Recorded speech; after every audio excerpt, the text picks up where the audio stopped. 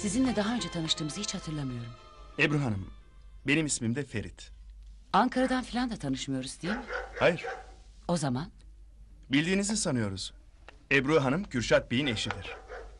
hangi Kürşat? Kürşat Cemiloğlu. Onu sizin çok iyi tanıdığınızı söylediler bize. Ha tabii.